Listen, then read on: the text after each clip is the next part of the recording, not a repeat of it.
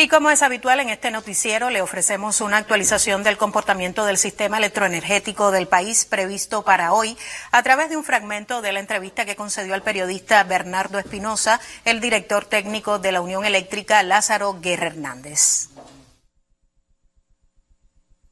Hemos previsto una disponibilidad de 2.955 MW con una demanda pronosticada de 2.650. Eso a 305 MW reserva quiere decir que con la reserva que tenemos no estamos estimando afectaciones de servicio por déficit de capacidad de generación durante todo el día, incluido la, la máxima demanda que tenemos 305 MW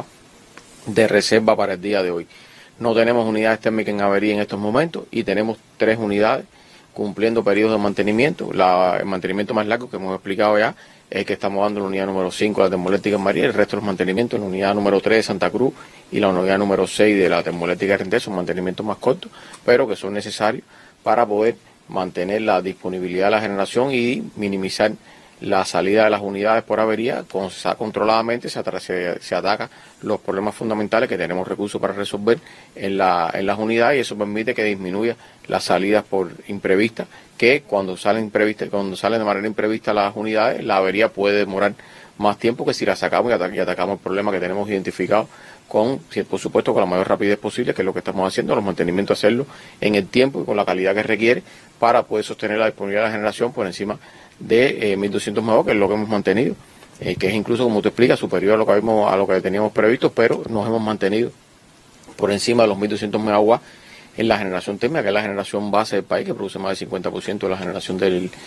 país. Eso, por supuesto, trae como resultado un, mejoramiento en, la, en, la, en las afectaciones al servicio, que de hecho eh, ayer no tuvimos afectación al servicio por déficit.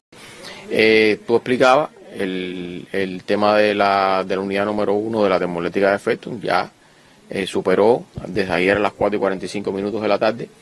llegó al día 189, estamos transitando el día 190 de operación de la unidad, que a las 4 y 45 del día de hoy ya cumple el día 190, que ya bueno sería eh, ya un récord histórico desde el punto de vista de continuidad de operación de una unidad de la generación térmica y eso va a ser, se cumplirá a las 4 y 45 minutos del día de hoy. La unidad número uno de efecto, el mantenimiento que se hizo fue un mantenimiento efectivo.